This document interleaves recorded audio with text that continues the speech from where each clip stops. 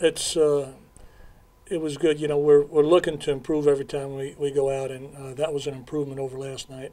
And some more guys got in the game and looked pretty good. Uh, bullpen got expanded tonight, which gives me a little more confidence to bring them in.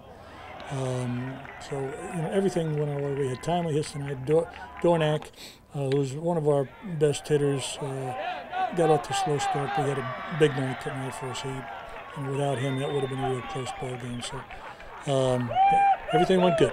Yeah, and I tell you, he, he clobbered the ball, and he's he's he's had a lot of balls that he hit hard at people, and they've made catches. If, if that center fielder would have caught that ball, I might have ran out there and jumped him myself because he really needed that hit, and uh, and it was a big hit for us at the time. So.